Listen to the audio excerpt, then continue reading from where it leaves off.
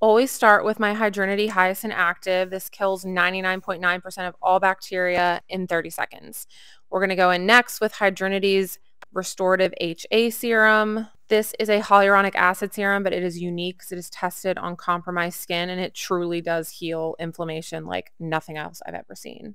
I'm using Interfuse Eye by Skinbetter tonight. I love this eye cream. I feel like it's an underdog. It is has peptides in it. It's going to decrease the appearance of crow's feet. It has caffeine, it depuffs, and it's also going to help hold moisture under the eye area.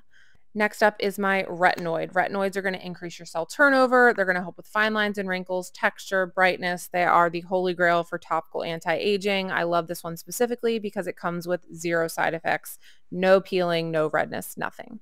All right, next up, we are going in with Zen Mist. I love to use this before I put a moisturizer on. It's going to help it penetrate better, which leads us to Trio Luxe. You only need half a pump for this product. I'm loving it. It is great and it is tested on acne prone skin. A lot of people have asked me this. I'm loving it. It is definitely a little weightier than your traditional Trio.